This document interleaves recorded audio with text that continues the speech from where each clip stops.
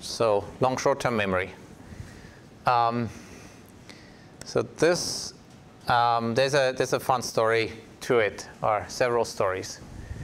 So if you haven't heard of uh, Jürgen Schmidhuber, um, he's a very memorable researcher. Um, you should check him out. But basically, at some point, uh, so the story goes, uh, Yoshua Bengio, at least this is the version from Yoshua Bengio that I've heard, um, posed a question to Jürgen Schmidhuber about, you know, remembering things in time series and so on. And, well, the story goes that then basically Jürgen engineered something called long short-term memory. Um, and actually the guy who really did it was Sepp Hochreiter. He was the, I think, master student at the time. Um, and where they probably started with was, this was like 19, you know, 88, 97, 98. And at that time, this was a strange paper. I mean, I knew about it. It was like, yeah, okay, yet another weird uh, neural network paper. Well, what's the point, right? And that's pretty much what everybody thought, well, maybe with the exception of Jürgen and, and Sepp and a few others, for over a decade until people actually had enough compute to try it out. So if you design a memory cell, then you need a couple of parts, and the interpretation is a little bit taken liberally here.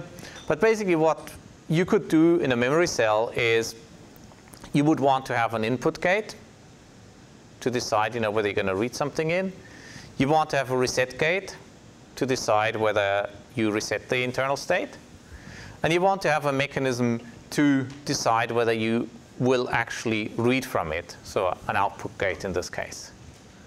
So if you, you know, you design your DRAM and you kind of, you know, skim read, you know, description of, you know, DRAMs, then you'd pretty much come away with a conclusion that, you know, these are the things that you care about.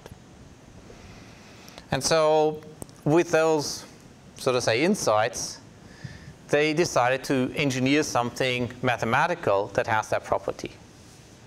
So this predates the GRU by over a decade. Okay. And it is, in most cases, superior, just that it's also a little bit more complex. So the first thing that you would do is you would have a forget gate. And this basically should just shrink values towards zero. You need to have an input gate which decides whether we should ignore the input data, and an output gate which decides whether we should actually use the hidden state for the output generated by the LSTM. Now the key distinction to the GRU is that it actually has two different hidden states. So it has the you know, run-of-the-mill hidden state, and then it has a memory cell, and that memory cell cannot be read directly from the outside. It's just some extra internal state that it just carries with it. Okay, which, yeah, sounds like a strange thing, but let's see how it goes.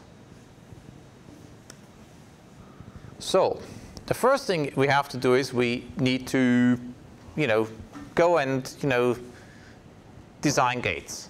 And those gating functions are exactly the same as before. We have, you know, A, I, F, and O, and they are just, you know, sigmoid of then some linear function of, you know, input and hidden state, and then some bias. Okay. So far, this looks pretty much the same as before, just that, you know, we have three. Before that, we had two. And with three, you can do more than with two. So fine. So the next thing is, let's look at the candidate memory. And this is where things get a little bit interesting. So our candidate memory cells, this is not a hidden state, it's the memory, is basically given by, well, some, you know, linear function of the hidden state and uh, the input, and that's, you know, the memory. Okay. So remember, you can basically, you know, read in read stuff into memory in, on a the memory cell, on, like in electronics, and so they designed this. Okay. And so then, well, the next thing is I need to decide whether to forget something. And so the forget gate is exactly the thing that helps me decide whether I should just keep what I had before or whether I you know, should update it to the new thing, new C tilde.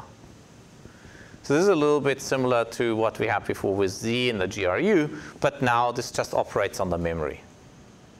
Right now that memory doesn't do anything useful yet, it just is there, you can't read it, you can't do anything with it, but we've already used up one gate to just decide whether we should reset the memory or how we should update it.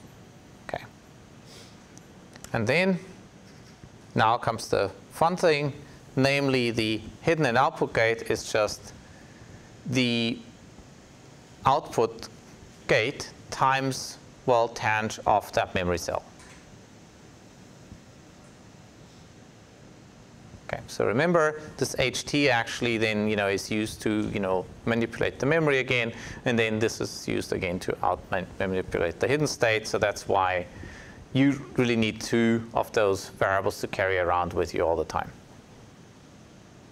So this was probably a little bit long-winded and complex.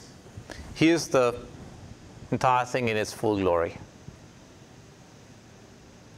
Okay. So I have three gates. I, F, and O. So input for get and output. I have candidate memory, C tilde. I have the actual memory, C. And then I have the output that's just some function of the memory.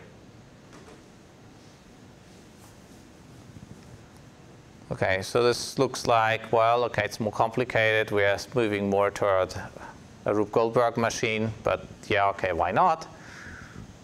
Um, but it does very similar things to what we discussed before, just that they have a little bit more expressive freedom in how I parameterize things. Any questions so far?